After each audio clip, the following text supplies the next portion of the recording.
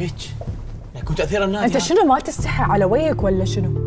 أنا الحين الحين أنا عرفت إيش حق حضرتك تغار علي هالكثر طبعا لأن حسبالك إن أنا مثلك.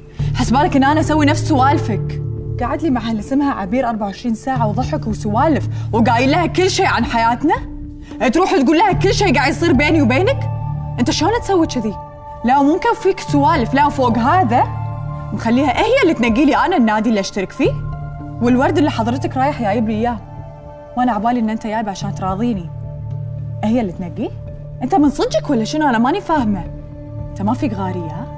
ما فيك غارية إنك تروح تسولف مع واحدة عن حياتنا الشخصية وواحده أنت أصلا ما تعرفها. خلاص عاد. ترى عبير مجرد موظفة. زميلتي بس. زميلتك بس؟ زميلة وبس وكل شيء تعرف عنه. إيش بقى ما قلت لها؟